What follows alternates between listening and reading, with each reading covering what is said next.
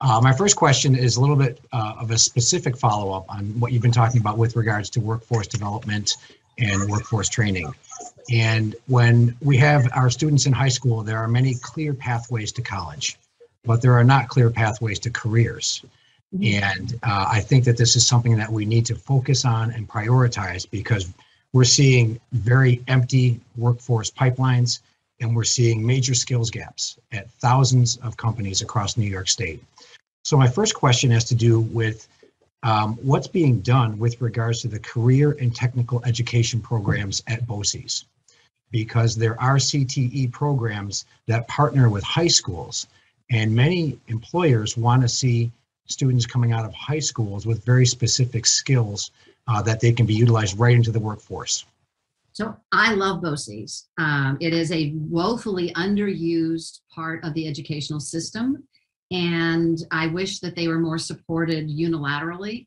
I think this is actually more a question for education than for DOL because we don't really, you know, we don't have any impact on their funding and their course offering. But I will tell you that they are very, very valuable. And there's a shocking statistic two out of three New York jobs require some post secondary credential.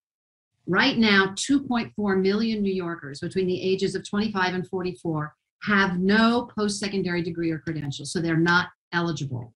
We need to make sure that we get people to understand that training is about your future and that training in BOCES is incredibly impactful.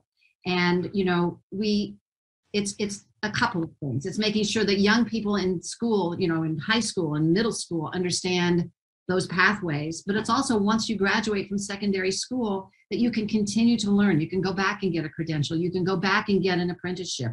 You can go back to college. We are in an era of lifelong learning. Nobody is going to get one degree and never go back to school again.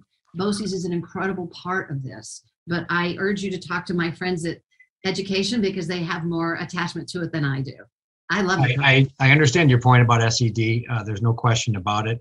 I do believe, though, that labor uh, can support more workforce pathways through CTE uh, and uh, partnering with SED. Um, because, again, we hear from thousands of employers who are saying we have major, major skills gaps right now. And I think BOCES is an important pathway with labor partnering with SED.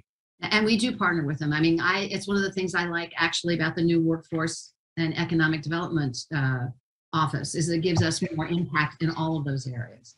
Uh, you and I could talk about this for a long time. I promise you.